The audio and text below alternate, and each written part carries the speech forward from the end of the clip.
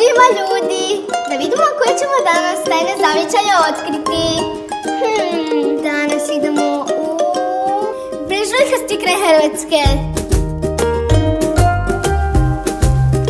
Hej, pozdrav Alina, stigla si? A tko si ti? Ja sam Vlatko i otkriću ti tajne brežuljkaste Hrvatske. Jupi, ja volim brežuljke. Ja isto. Onda će ti se dopast moj zavičaj.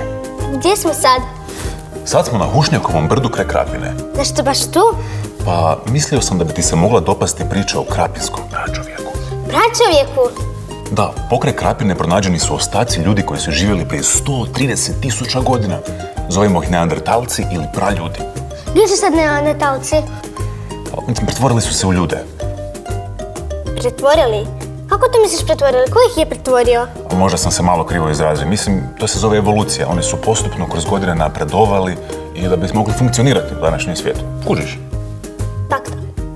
Ma dug ti je to proces. Samo zamisli kako će današnji ljudi izgledati za 130 tisuća godina, a?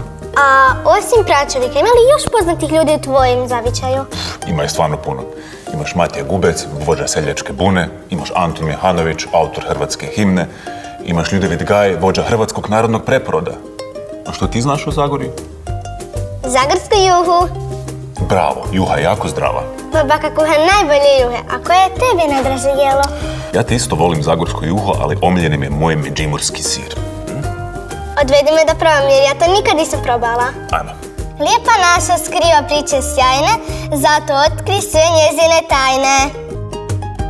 Skupi šest bodova kroz Plus aplikaciju i besplatno izradi vlastitu personaliziranu slikovnicu tajne moga zavičaja. Više na tajne moga zavicaja HR. Lidl, više za vas.